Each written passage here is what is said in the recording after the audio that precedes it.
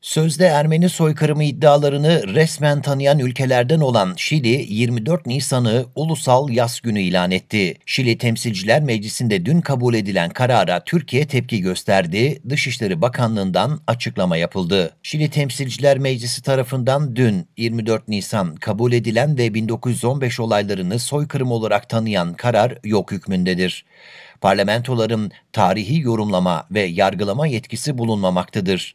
Bu karar soykırım suçunun ancak yetkili bir mahkeme tarafından hükme bağlanabileceğini öngören 1948 Birleşmiş Milletler soykırım suçunun önlenmesi ve cezalandırılması sözleşmesine de aykırıdır. Ancak Dışişleri Bakanlığı'nın açıklamasındaki bilgi eksikliği gözlerden kaçmadı.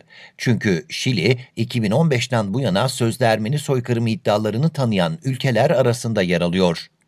Şili parlamentosu 1915 olaylarının 100. yıl dönümü olan 2015'te sözde Ermeni soykırımını resmen tanıma kararı almıştı. Şili Temsilciler Meclisi'ne dün alınan kararsa 24 Nisan'ın Ermeni soykırımı kurbanlarını anma ulusal günü ilan edilmesi oldu.